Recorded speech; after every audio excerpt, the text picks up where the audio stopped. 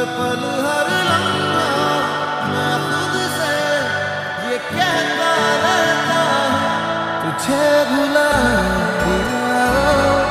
तुझे